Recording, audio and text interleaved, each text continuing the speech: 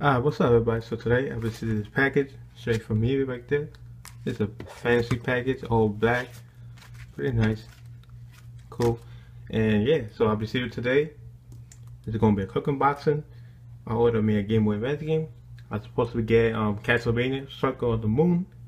So yeah, so I'm gonna show you guys soon when I cut this package on the side and see if it works. Alright, you can see I cut the side of the package. We're gonna take out the game. See the beams right there. Alright, nothing. Put that on the side. This is game I order. Right there, focus. Castlevania Circle of the Moon. Hold up. Yeah. Rated T for T. Konami. Game Boy Advance. Mint condition. Super clean. I'm gonna do is test it out and see what works.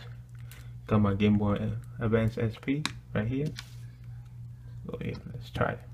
Put in uh, the cartridge inside my Game Boy Advance SP. we're gonna turn it on. It's a good sign.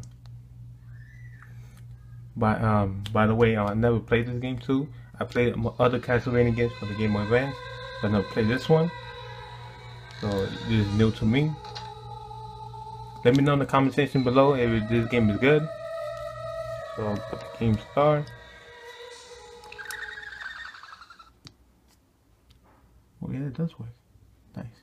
So that's about it guys. So thank you guys for watching. Hope you like this video. Leave a like, a comment, subscribe. Hope you enjoy this.